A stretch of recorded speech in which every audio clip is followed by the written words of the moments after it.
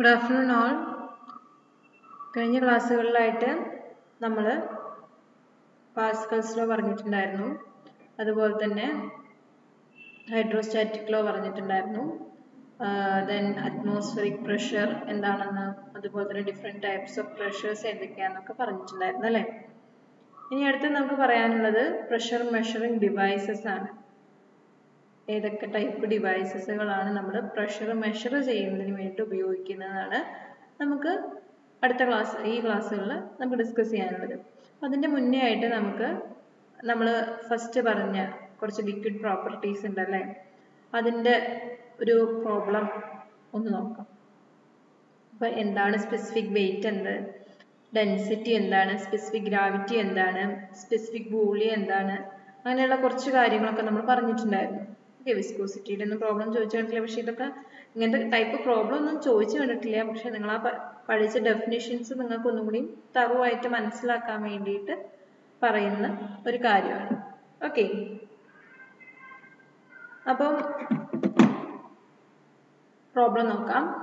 One litre of liquid weight seven newton calculate the specific weight density relative density and specific volume അപ്പോൾ നമ്മളോട് കണ്ടുപിടിക്കാൻ പറഞ്ഞിട്ടുള്ളത് specific weight അതുപോലെ തന്നെ density simply density എന്നുള്ളതുകൊണ്ട് മീൻ ചെയ്യുന്നത് മാസ് ഡെൻസിറ്റി ആണ് കേട്ടോ. Then relative density relative density എന്നുള്ളതിന് നമ്മൾ പഠിച്ചിട്ടുള്ളത് എന്താണ്? സ്പെസിഫിക് ഗ്രാവിറ്റിയാണ് സ്പെസിഫിക് ഗ്രാവിറ്റിനെയാണ് നമ്മൾ എന്ത് പറയുന്നത്? റിലേറ്റീവ് ഡെൻസിറ്റി എന്ന് പറയുന്നത്. Then next one specific volume അപ്പോൾ അതിന്റെയൊക്കെ ഡെഫിനേഷൻ അറിഞ്ഞിരുന്നാൽ തന്നെ നമുക്ക് ഇങ്ങനെ ഒരു പ്രോബ്ലം വന്നാൽ ചെയ്യാൻ പറ്റും. ഇങ്ങനെ ഒരു പ്രോബ്ലം അങ്ങനെ ചോദിച്ചിട്ടില്ല. പക്ഷെ ഇനി ചോദിക്കുകയാണെങ്കിൽ നമുക്ക് ഈസി ആയിട്ട് ചെയ്യാൻ പറ്റും.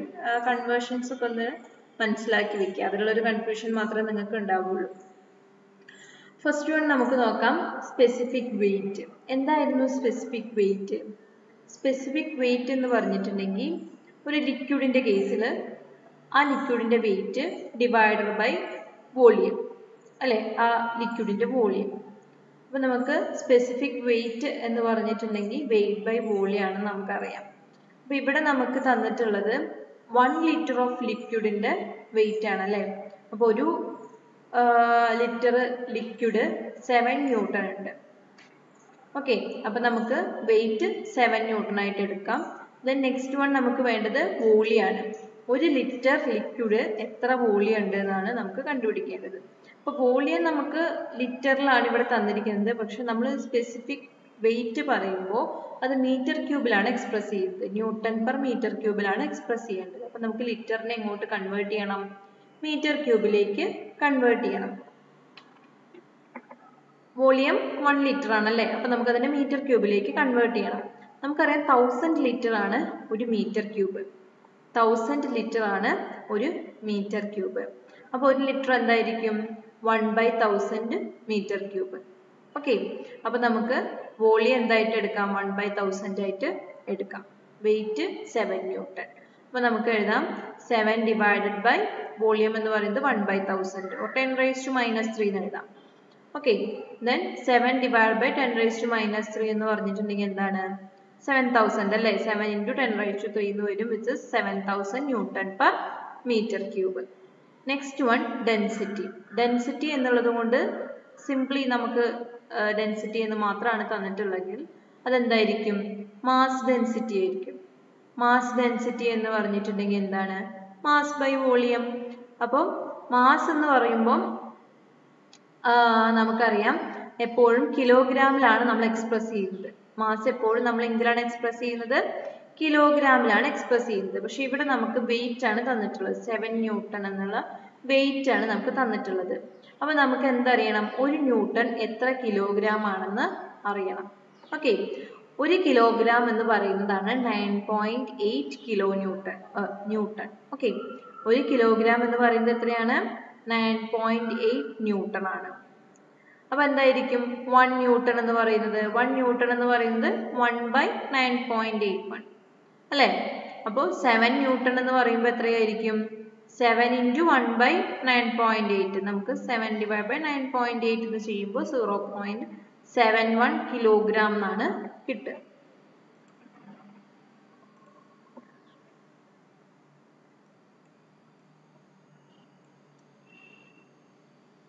ഓക്കെ അപ്പോൾ point seven one kilogram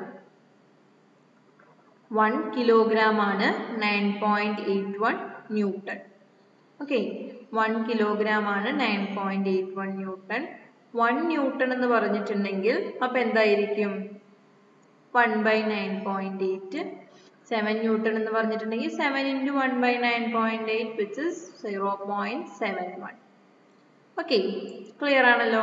അപ്പൊ നമുക്ക് മനസ്സിലായി സെവൻ ന്യൂട്ടൺ എന്ന് പറയുന്നത് zero point seven one kilogram ആണ്. അപ്പൊ മാസ് എന്ന് പറയുന്നത് അപ്പൊ എന്താണ്? Zero point seven one kilogram mass by volume എന്നുള്ളത് ഉദ്ദേശിക്കുന്നത് എന്താണ്? ആ വൺ ലിറ്റർ ലിക്വിഡിന്റെ വോളിയം അതെന്ന് പറയുന്നത് നമ്മൾ കണ്ടുപിടിച്ചു വൺ ബൈ തൗസൻഡ് ആണല്ലേ? അപ്പോൾ zero point seven one divided by one by thousand ചെയ്യുമ്പോൾ നമുക്ക് എന്ത് കിട്ടും? Seven ten kilogram per metre cube എന്ന് കിട്ടും. ഓക്കെ ആണല്ലോ? അടുത്തത് സ്പെസിഫിക് ഗ്രാവിറ്റി അപ്പോൾ ഇവിടെ നമ്മൾ റിലേറ്റീവ് ഡെൻസിറ്റി എന്നാണ് നമുക്ക് ക്വസ്റ്റ്യനിൽ തന്നിട്ടുള്ളത്. അതെന്താണ്? സ്പെസിഫിക് ഗ്രാവിറ്റി ആണ്. റിലേറ്റീവ് ഡെൻസിറ്റി അപ്പൊ അതിന്റെ ബ്രാക്കറ്റിൽ റിലേറ്റീവ് ഡെൻസിറ്റി എന്നും കൂടി ഒന്ന് എഴുതി ചേർക്കുക കേട്ടോ അപ്പോൾ റിലേറ്റീവ് ഡെൻസിറ്റി ഓർ സ്പെസിഫിക് ഗ്രാവിറ്റിയുടെ ഡെഫിനേഷൻ എന്തായിരുന്നു? Density of a fluid divided by density of standard fluid specific വെയിറ്റിന്റെ ടേംസിൽ പറയുകയാണെങ്കിൽ specific weight of fluid divided by specific weight of standard fluid അപ്പൊ ഇവിടെ നമ്മൾ കണ്ടുപിടിച്ചു. ഇപ്പൊ നമുക്ക് ഏത് ടേംസിന് വേണമെങ്കിൽ എഴുതാം കേട്ടോ സ്പെസിഫിക് വെയിറ്റ് ആണ് നമ്മൾ എടുക്കുന്നതെങ്കിൽ സെവൻ തൗസൻഡ് എടുക്കുക. ഡെൻസിറ്റി ആണ് എടുക്കുന്നതെങ്കിൽ സെവൻ ടെൻ എടുക്കുക. ഓക്കെ അപ്പം ഇവിടെ നമ്മൾ സ്പെസിഫിക് വെയിറ്റ് വെച്ചിട്ടാണ് ചെയ്തിട്ടുള്ളത്. Specific weight of that particular fluid എന്ന് പറയുന്നത് നമുക്ക് seven thousand newton per metre cube ആണ് കിട്ടിയിട്ടുള്ളത്. Okay then specific weight of standard fluid standard fluid എന്താണ്? വാട്ടർ ആണ്. വാട്ടറിന്റെ സ്പെസിഫിക് വെയിറ്റ് എന്ന് പറയുന്നത് nine eight one zero newton per metre cube ആണ്. Okay nine eight one zero newton per metre cube. Okay അപ്പോൾ നമ്മൾ seven thousand divided by nine eight one zero ചെയ്യുമ്പോൾ നമുക്ക് എന്ത് കിട്ടും? സീറോ പോയിന്റ് സെവൻ വൺ ത്രീന്ന് കിട്ടും. ഓക്കെ സെവൻ തൗസൻഡും അതുപോലെ നയൻ എയ്റ്റ് വൺ സീറോയും എന്തിലാണ് കിടക്കുന്നത്? ന്യൂട്ടൺ പെർ മീറ്റർ ക്യൂബിലാണ് കിടക്കുന്നത് അല്ലേ? അപ്പൊ സ്പെസിഫിക് ഗ്രാവിറ്റിക്ക് എന്തുണ്ടാവില്ല? രണ്ടും ക്യാൻസൽ ചെയ്ത് പോയി കഴിഞ്ഞാൽ യൂണിറ്റ് ഉണ്ടാവില്ല. നോ യൂണിറ്റ് ഇതിന് യൂണിറ്റ് ഉണ്ടാവില്ല കേട്ടോ.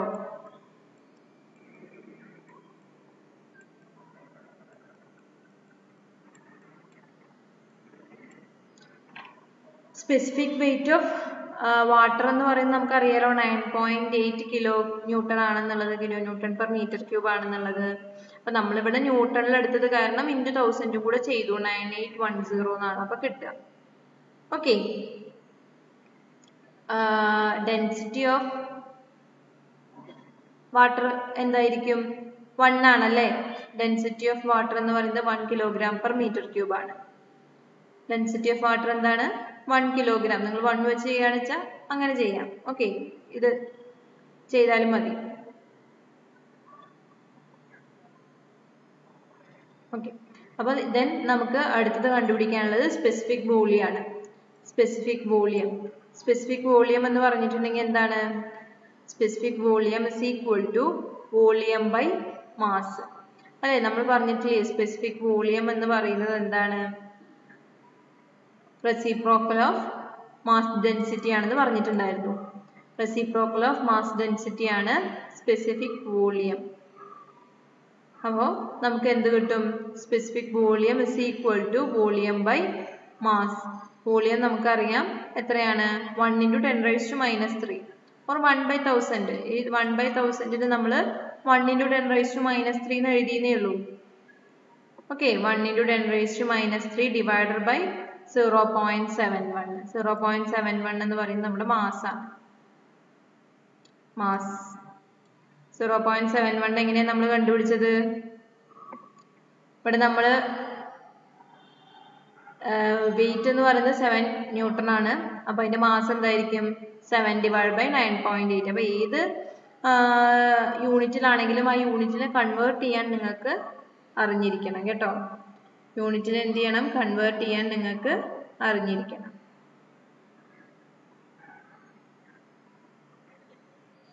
ഓക്കെ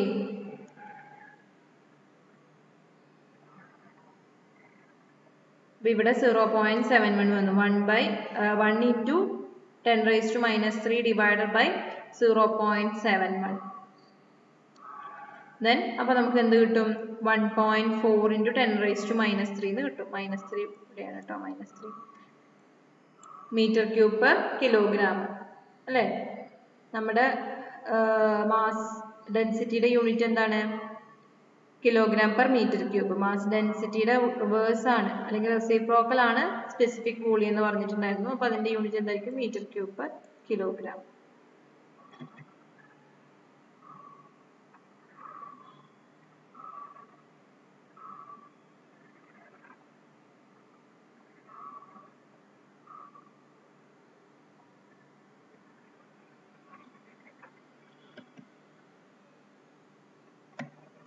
ഇനി നമുക്ക് പഠിക്കാനുള്ളത് മെഷർമെന്റ് ഓഫ് ഫ്ലൂയിഡ് പ്രഷറാണ് അതായത് ഒരു ഫ്ലൂയിഡിന്റെ പ്രഷർ നമ്മൾക്ക് എങ്ങനെയാണ് മെഷർ ചെയ്യാൻ പറ്റുക. അല്ല ഫസ്റ്റ് വൺ എന്ന് പറയുന്നത് മാനോമീറ്റർ മാനോമീറ്റർ യൂസ് ചെയ്തിട്ടും അതുപോലെ തന്നെ നമുക്ക് മെക്കാനിക്കൽ ഗേജസ് യൂസ് ചെയ്തിട്ടും എന്ത് ചെയ്യാൻ പറ്റും? ഫ്ലൂയിഡിന്റെ പ്രഷർ മെഷർ ചെയ്യാൻ പറ്റും.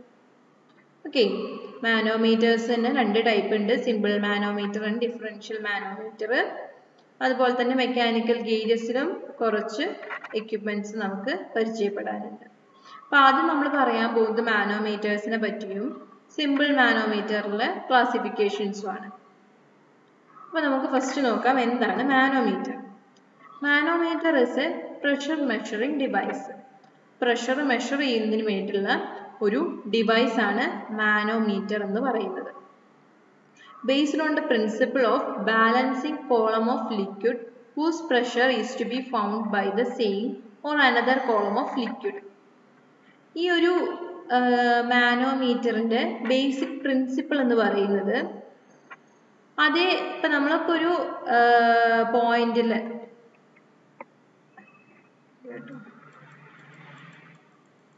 നമുക്കൊരു പോയിന്റിൽ മെഷർ പ്രഷറാണ് മെഷർ ചെയ്യേണ്ടത്. അത് ഫ്ലൂയിഡിലെ ഫ്ലൂയിഡിലെ ഒരു പോയിന്റിലെ മെഷ് പ്രഷറാണ് നമുക്ക് മെഷർ ചെയ്യേണ്ടത്. ഓക്കെ അപ്പോൾ അതിന് വേണ്ടിയിട്ട് നമ്മൾ യൂസ് ചെയ്യുന്നത് ആ സെയിം ലിക്വിഡോ അല്ലെങ്കിൽ മറ്റേതെങ്കിലും ലിക്വിഡോ ഒരു കോളമായിട്ട് കണക്ട് ചെയ്തിട്ട് ആ കോളത്തിലെ ഹൈറ്റ് ഡിഫറൻസ് മെഷർ ചെയ്തിട്ടാണ് നമ്മൾ എന്ത് ചെയ്യുന്നത്? മാനോമീറ്റേഴ്സിൽ പ്രഷർ മെഷർ ചെയ്യുന്നത്. ഓക്കെ ഇവിടെ ഇപ്പം നമ്മൾ ഒരു ഇതൊരു സിമ്പിൾ മാനോമീറ്റർ ആണ് കേട്ടോ ഞാനിവിടെ കാണിച്ചിട്ടുള്ളത്. It is a type of piezometer അപ്പോൾ ഇതൊരു സിമ്പിൾ കോളം നാനോമീറ്റർ ആണ്. ഓക്കെ സിമ്പിൾ മാനോമീറ്റർ ആണ്. അപ്പോൾ ഇതിനകത്ത് നമുക്ക് ഇവിടെ എന്തുണ്ട്? ഇതൊരു പൈപ്പാണ് കേട്ടോ ഒരു പൈപ്പിന്റെ ക്രോസ് സെക്ഷൻ ആണ്. ഈ പൈപ്പിന്റെ ക്രോസ് സെക്ഷൻ അകത്തുള്ള ഈ ഒരു പോയിന്റിന്റെ പ്രഷറാണ് നമുക്ക് മെഷർ ചെയ്യേണ്ടത്. ഓക്കെ അപ്പോൾ ഈ ഒരു പോയിന്റിലെ പ്രഷർ മെഷർ ചെയ്യുന്നതിന് വേണ്ടിയിട്ട് നമ്മൾ അതിനൊരു സിംഗിൾ കോളോ ആയിട്ട് കണക്ട് ചെയ്തു ഒരു ഒരു സ്മോൾ ഡയമീറ്റർ പൈപ്പുമായിട്ട് കണക്ട് ചെയ്തു ഓക്കെ അപ്പോൾ ഈ സ്വാഭാവികമായിട്ടും ഇതിന് എന്ത് സംഭവിക്കും? ഈ പൈപ്പിലൂടെ വാട്ടർ വാട്ടറിന്റെ ലെവലിന് ഒരു വേരിയേഷൻ ഉണ്ടാവും അല്ലേ? ഈ പൈപ്പിലുള്ള വാട്ടറിനൊരു വേരിയേഷൻ ഉണ്ടായിരിക്കും. ആ വേരിയേഷൻ എത്രയാന്നുള്ളത് നോക്കിയിട്ടാണ് നമ്മൾ എന്ത് ചെയ്യുന്നത്? ഈ ഒരു പർട്ടിക്കുലർ പോയിന്റിന്റെ പ്രഷർ എത്രയാണെന്നുള്ളത് മെഷർ ചെയ്യുന്നത്. ഓക്കെ അപ്പം ഈ മാനോമീറ്റർ എന്ന് പറയുന്നത് വളരെ സിമ്പിൾ ആയിട്ട് ഈ സിമ്പിൾ മാനോമീറ്ററിന്റെ കേസിൽ നമുക്ക് വളരെ സിമ്പിൾ ആയിട്ട് ഒരു പോയിന്റിലെ പ്രഷർ മെഷർ ചെയ്യുന്നതിന് വേണ്ടിയിട്ടാണ് നമ്മൾ യൂസ് ചെയ്യുന്നത്. ഓക്കെ ഇവിടെ നമ്മൾ മെഷർ ചെയ്യുന്നത് ആക്ച്വലി എന്താണ്? പ്രഷർ ഹെഡാണ് പ്രഷർ ഹെഡ് എന്ന് പറഞ്ഞിട്ടുണ്ടെങ്കിൽ എന്താണ്? നമ്മൾ ഈ ഒരു ഡിവൈസ് നമ്മൾ കൺസിഡർ ചെയ്യുകയാണെങ്കിൽ ഇതിന്റെ പ്രഷർ മെഷർ ചെയ്യുന്ന പോയിന്റ് നമ്മൾ എന്ത് ചെയ്തിട്ടുണ്ടായിരിക്കും? ഇതിന്റെ ഈ ഒരു പൈപ്പിനകത്തായിരിക്കും അല്ലേ? ഇതിന്റെ ലിംബ് എന്ന് പറയുന്നത് ഇതിന്റെ നമ്മൾ കണക്ട് ചെയ്യുന്ന ഈ കോളം ഉണ്ടല്ലോ? ഈ കോളം എന്ന് പറയുന്നത് എപ്പോഴും ഓപ്പൺ ടു അറ്റ്മോസ്ഫിയർ ആയിരിക്കും. ഓക്കെ അറ്റ്മോസ്ഫിയറിലേക്ക് ഓപ്പൺ ചെയ്തിട്ടായിരിക്കും ഈ ഒരു കോളം എപ്പോഴും നമ്മൾ ഫിക്സ് ചെയ്യുന്നത്. ഈ ഒരു ലിക്വിഡ് എന്ന് പറയുന്നത് അപ്പോൾ എന്തായിരിക്കും? ഓപ്പൺ ടു അറ്റ്മോസ്ഫിയർ ആണ്. അപ്പോൾ നമുക്ക് ഇവിടെ കിട്ടുന്ന പ്രഷർ എപ്പോഴും ഗേജ് പ്രഷർ ആയിരിക്കും. ഓക്കെ അപ്പോൾ എന്താണ് ഗേജ് പ്രഷർ എന്ന് നമ്മൾ പറഞ്ഞിട്ടുണ്ടായിരുന്നു അല്ലേ? എന്താ gauge pressure grey gauge pressure എന്ന് പറഞ്ഞിട്ടുണ്ടെങ്കിൽ അറ്റ്മോസ്ഫിയറിന് മുകളിലേക്ക് നമ്മൾ മെഷർ ചെയ്യുന്ന എല്ലാ പ്രഷറിനും നമ്മൾ ഗേജ് പ്രഷർ എന്നാണ് പറയുക അപ്പൊ ഇവിടെ നമ്മൾ പറഞ്ഞു ഈ ഒരു കോളം എന്ന് പറയുന്നത് ഓപ്പൺ ടു അറ്റ്മോസ്ഫിയർ ആണ്. അപ്പൊ സ്വാഭാവികമായിട്ടും നമുക്ക് ഇവിടെ കിട്ടുന്ന പ്രഷർ എന്ന് പറയുന്നത് ഗേജ് പ്രഷർ ആയിരിക്കും. ഓക്കെ ദെൻ അതിൽ നിന്നും നമുക്ക് എന്ത് കണ്ടുപിടിക്കാം? അറ്റ്മോസ്ഫിയറിക് പ്രഷർ കണ്ടുപിടിക്കാം അല്ലെ? അറ്റ്മോസ്ഫിയറിക് പ്രഷർ അല്ല ആബ്സല്യൂട്ട് പ്രഷർ കണ്ടുപിടിക്കാം. എന്ത് ചെയ്താൽ മതി? അറ്റ്മോസ്ഫറിക് പ്രഷറിന്റെ കൂടെ നമുക്ക് ഈ കിട്ടിയിട്ടുള്ള ഗേജ് പ്രഷർ ആഡ് ചെയ്ത് കഴിഞ്ഞാൽ നമുക്ക് ആബ്സലൂട്ട് പ്രഷർ കണ്ടുപിടിക്കാം. ഓക്കെ സിമ്പിൾ ടൈപ്പ് മാനോമീറ്ററിലാണ് ഞാൻ ഈ പറഞ്ഞ ഈ സിംഗിൾ കോണോ അതേപോലെ തന്നെ ഈ പീസോമെട്രിക് ട്യൂബും വരുന്നത്. പീസോമെട്രിക് ട്യൂബും then യൂട്യൂബ് മാനോമീറ്റർ ഒക്കെ വരുന്നുണ്ട്. ഏറ്റവും സിമ്പിൾ ആയിട്ടുള്ള ഒരു ടൈപ്പാണ് പീസോമീറ്റർ ഏറ്റവും സിമ്പിൾ ആയിട്ട് ഒരു പോയിന്റിലെ പ്രഷർ മെഷർ ചെയ്യുന്നതിന് വേണ്ടിയിട്ട് നമ്മൾ യൂസ് ചെയ്യുന്ന എക്യുപ്മെന്റ് ആണ് എന്ത്? പീസോമീറ്റർ എന്ന് പറയുന്നത്. ഈ പീസോമീറ്ററിനകത്ത് നമുക്ക് വലിയ പ്രഷേഴ്സ് ഒന്നും മെഷർ ചെയ്യാൻ പറ്റില്ല. ഒരു സ്മോൾ പോയിന്റ് നമ്മൾ കൺസിഡർ ചെയ്യുകയാണെങ്കിൽ ചെറിയ പ്രഷർ വേരിയേഷൻസ് ഒക്കെയാണ് നമുക്ക് ഇതിനകത്ത് മെഷർ ചെയ്യാൻ പറ്റുള്ളൂ.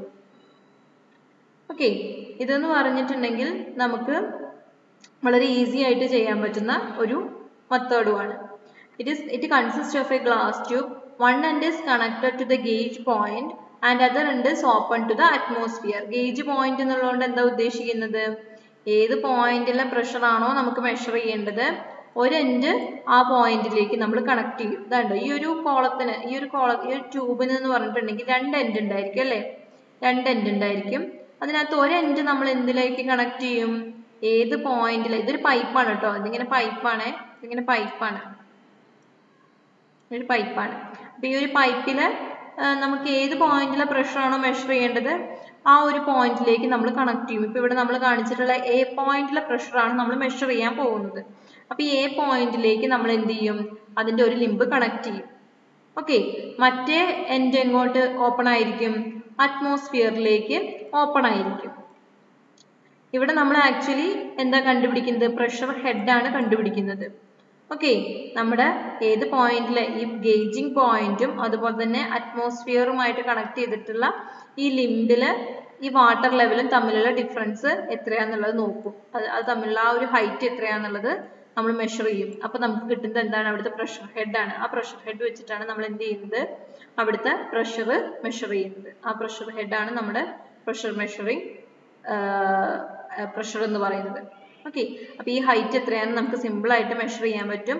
അതായിരിക്കും അവിടുത്തെ പ്രഷർ ആ പോയിന്റിലെ പ്രഷർ ഓക്കെ ഈ ഒരു പോയിന്റിലെ പ്രഷർ എന്ന് പറയുന്നത് ഇവിടെയുള്ള നമ്മുടെ ഈ ഒരു ഹൈറ്റ് ആണ്. ആ ഹൈറ്റ് എന്ന് പറഞ്ഞിട്ടുണ്ടെങ്കിൽ നമ്മുടെ ഗേജ് പോയിന്റും അതുപോലെ തന്നെ അറ്റ്മോസ്ഫറിക് ഓപ്പൺ ആയിട്ടുള്ള ലിംബിലെയും ഹൈറ്റ് ഡിഫറൻസ് ആണ്. ഓക്കെ അതാണ് ഒരു പീസോമീറ്ററിന്റെ പ്രിൻസിപ്പിൾ എന്ന് പറയുന്നത്. ഓക്കെ സിമ്പിൾ മാനോമീറ്റർ ആണ് ഈ പറഞ്ഞ രണ്ട് കാര്യങ്ങളും. ഞാൻ ഇപ്പൊ പറഞ്ഞത് പീസോമീറ്റർ ആണെന്ന് മാത്രം. ഇനി പീസോമീറ്ററിനെ പറ്റി നമുക്ക് ഡീറ്റെയിൽ ആയിട്ട് പഠിക്കാനുണ്ട്.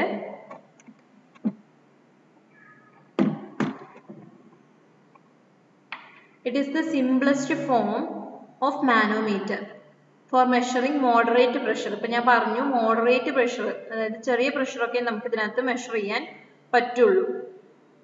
വളരെ ചെറിയ പ്രഷറുകളൊക്കെ നമുക്ക് ഇതിനകത്ത് മെഷർ ചെയ്യാൻ പറ്റുള്ളൂ. ലാർജ് പ്രഷർ ഒന്നും ഇതിനകത്ത് മെഷർ ചെയ്യാൻ പറ്റില്ല. അതിനുള്ള കപ്പാസിറ്റി ഒന്നും ഇതിനില്ല then one end is connected to the gauge point and other is open to the atmosphere നമ്മൾ പറഞ്ഞല്ലോ ഒരു എൻഡ് ഗേജ് പോയിന്റുമായിട്ട് കണക്റ്റഡ് ആയിരിക്കും. മറ്റേ എൻഡ് എന്ന് പറയുന്നത് ഓപ്പൺ ടു അറ്റ്മോസ്ഫിയർ ആയിരിക്കും.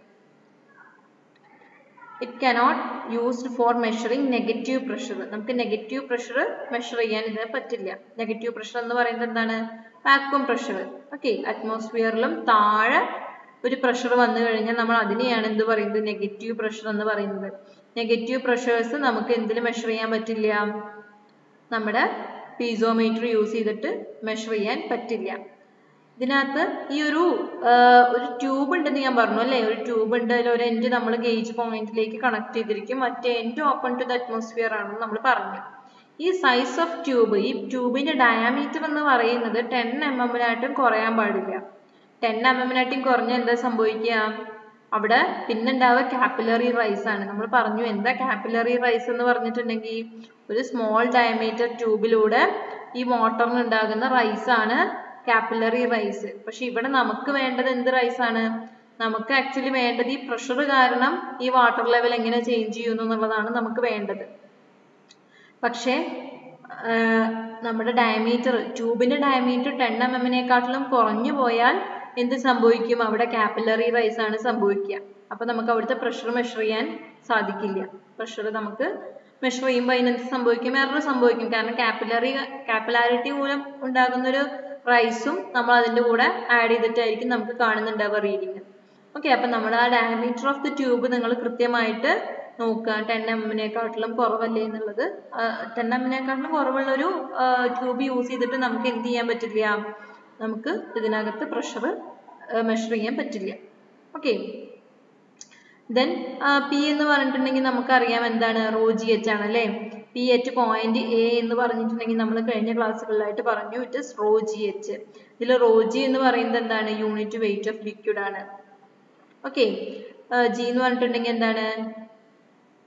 നമ്മുടെ acceleration due to gravity okay g nine point eight one അപ്പോൾ റോ ജി എച്ച് ചെയ്ത് കഴിഞ്ഞിട്ടുണ്ടെങ്കിൽ നമുക്ക് എന്ത് കിട്ടും? ഇവിടുത്തെ പ്രഷർ എത്രയാന്നുള്ളത് കിട്ടും. ഡബ്ല്യു എച്ച് നമ്മൾ പഠിച്ചില്ലേ? നമ്മൾ കഴിഞ്ഞ ക്ലാസ്സിൽ പഠിച്ചിട്ടുണ്ടായിരുന്നു. ഡബ്ല്യു എച്ച് ആണ് pressure at the point A എന്ന് പറയുന്നത്. ഓക്കെ അപ്പൊ ഇവിടുത്തെ പ്രഷർ ഹെഡ് നമുക്ക് മെഷർ ചെയ്യാൻ പറ്റും അല്ലേ? പ്രഷർ ഹെഡ് എന്ന് പറയുന്നത് നമ്മുടെ ഗേജ് പോയിന്റും അതേപോലെ തന്നെ ഈ ലിംബും തമ്മിലുള്ള ആ റൈസ് ഓഫ് ലിക്വിഡ് എത്രയാന്നുള്ളതാണ് എച്ച് എന്നുള്ളതുകൊണ്ട് ഉദ്ദേശിക്കുന്നത്. ഓക്കെ കാരണം നമ്മളൊന്ന് ആലോചിച്ച് നോക്കുക ഇവിടെ ഒരു പൈപ്പിലൂടെ വാട്ടർ പോയിക്കൊണ്ടിരിക്കുകയാണ് അല്ലേ? വാട്ടർ ഫ്ലോ ചെയ്തുകൊണ്ടിരിക്കുകയാണ്.